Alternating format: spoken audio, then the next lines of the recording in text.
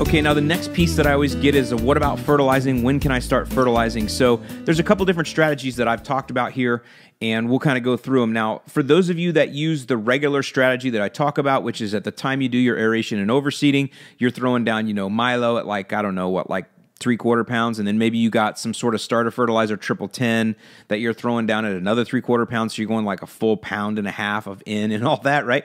You don't need anything else for at least 35 to 40 days. You don't need anything else. Just let it ride, man. Just uh, we'll talk about biostimulants because those are always fine, but you don't need any more FERT. Once you get to that 35, 40 day mark, go ahead, man. Pick what you want. Throw down some Carbon X three quarter pound, Milorganite three quarter pound. You know, whatever. Now I say three quarter pound. Talk about nitrogen per thousand. I'm, I always talk about that. Cool season lawn. Fine to keep pushing. You guys can push, push, push in the fall. In fact, the more nitrogen you push in the fall, the better because then the less you'll have to push next spring, especially if you're somebody that dealt with any kind of, you know, uh, brown patch disease uh, or any really so I don't know if um, dollar spot overwinters, but definitely Fusarium blight and um, what else is out there? Rhizoctonia. I'm trying to talk like I know what the heck I'm talking about. I just like saying those big words, overbiter.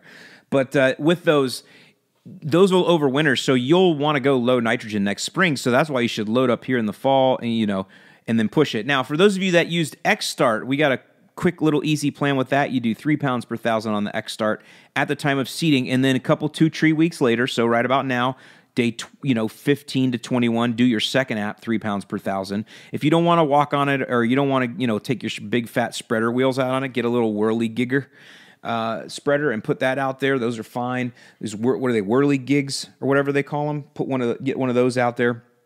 You're not looking to be perfect here. You're just looking to get the app out there as good as you can but you would do yours a couple two three weeks later as well. And then you guys won't have to do anything you know give it a, give that another you know three weeks and then you can start up. So let me just go back to that x start at the time of seeding.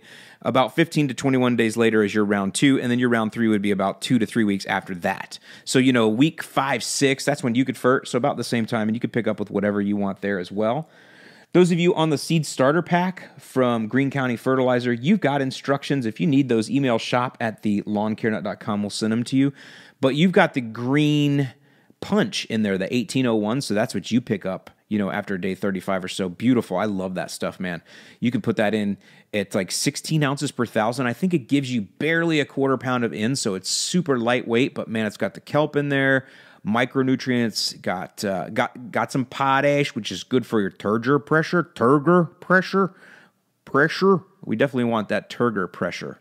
We want a turgid lawn, and that comes from potash. That's another new thing I've been trying to learn is a little bit more scientific stuff just so I can throw it out so it sounds like uh, I know what I'm talking about. So that's kind of how your fertilizing works. You know, you don't want to, you know, you don't want to baby it, you know, but uh, but go ahead and start pushing it, you know, once it gets out there past day 35, 40, you know, all into that, you know, you can do it. Now, as far as biostimulants go, RGS, uh, Humic 12, OO2 microgreen for sure, Air-8, those can go down at like three ounces per thousand every couple of weeks from beginning to end, anytime you want, man. Some of you guys like to spray a lot. I do too. Recently, I've been I've been out wanting to spray almost every day. I even got this um, drip feeder thing, easy flow thing I got hooked up on one side of my house, and I pour RGS in it, and I water like my palms and plants with it like every day. I'm going to see what it does. Um, so just I know I know that feeling, right?